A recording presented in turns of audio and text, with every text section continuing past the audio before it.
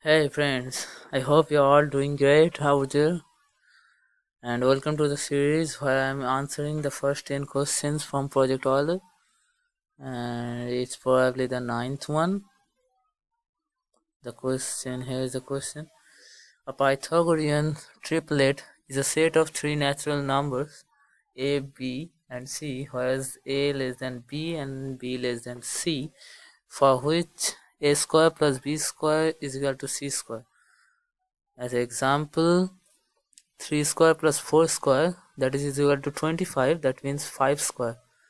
There exists exactly one Pythagorean triplet for which a plus a square no, a plus b plus c is equal to 1000 okay so we have to find that exact one set of a plus b a b and c. So that the sum of a plus b and a plus b plus c will be 1000 exact. So here's the program for that.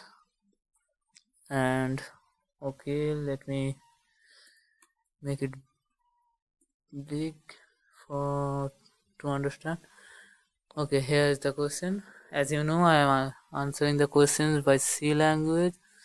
You can answer it by any other language also.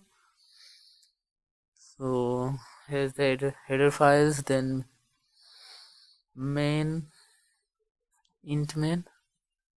Oh forget about this printf here hello world and here the variables a b and c and a flag variable to count something in a loop.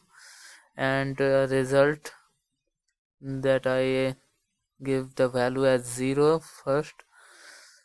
And set a is equal to 1 b is equal to 2 and c is equal to 3 because at least the because a is the shortest one. A is the smallest one here.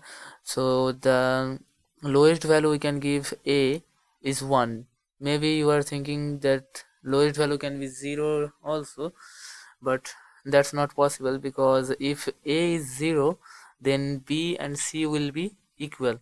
And that's not what we want here because a b should be less than c not less than equal to c.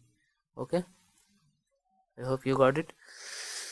Then just i used three while loops to control a b and c okay? And c the first while loop is the condition is c less than 997 okay? Because the first at because all right now c has the value of 3 so just minus 1000 minus 3 here. And flag is equal to is equal to 1 because after getting the answer we will change the flag as 0 here. So it's just checking have we got the answer or not? That's why we just put it here. And flag is equal to equal to 1 then b is equal to 0 we don't need it here maybe. No we need it here then uh, another for while loop you can use for loop as well. And here b less than c and flag is equal to is equal to 0 again. And uh, a is equal to 1 then a while loop that this is the final one where a less than b and flag is equal to is equal to 1 then a if condition to to check the answers on like as the equation a square plus b square is equal to c square if it satisfies that.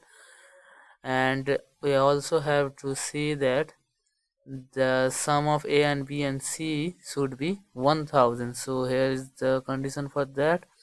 Then the we need the answer as the product to find the product of product abc so here we are counting that a b a into b into c and we are storing that into result variable. And and i just put a printf here so that we I can understand what the values of a b and c and calculate that maybe in calculator. And then make it make that flag zero. Then after the while loop a plus plus then b plus plus then c plus plus then a printf here to print the result and then return. That's it. Nothing much. And let me copy it for you. Control C and open a exist project. Tutorial and control A delete control V. That's it. Let's check is there any mistake or not? No. So here is the answer. three one eight seven five triple zero. Thank you for watching. And you can calculate that by calculator here. And the values of a b and c is uh, as follows. To 200 and 357 then 525 okay. That's it. Thank you for watching